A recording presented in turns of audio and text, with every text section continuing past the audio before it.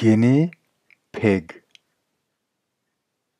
When someone is called a guinea pig, it means that they are the subject of trying out, testing something new, never before seen, experimental.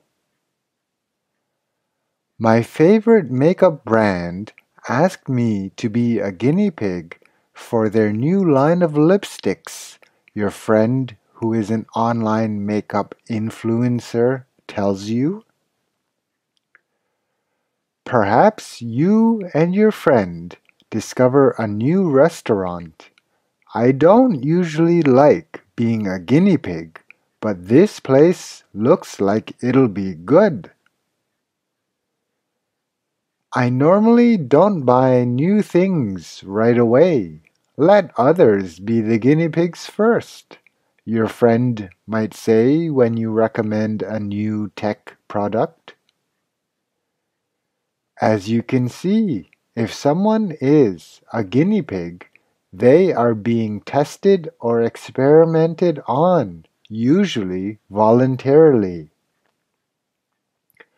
Calling someone a guinea pig is an idiom that originates with scientific experimentation on the cute little rodents who were the test subject of choice starting in the 17th century. Though mice and rats came to replace guinea pigs as model organisms in the early 1900s, the epithet guinea pig continued to be a popular way to describe human test subjects. Before modern science, every culture developed science in their own way, usually for the purposes of healing and medicine, which explains different science-based idioms. In Taiwan, people say that they don't want to be white mice, similar to lab rats in English, Spanish, Russian.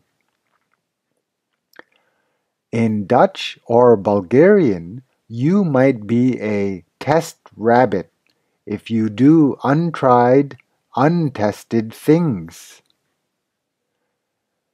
Whatever type of animal is traditionally experimented on, humans are usually reluctant to be the first to try something new. Though it is often early adapters those that like to try new things, especially tech gadgets, that provide valuable feedback before a new thing becomes common. You really want to be a guinea pig and have a chip implanted in your head?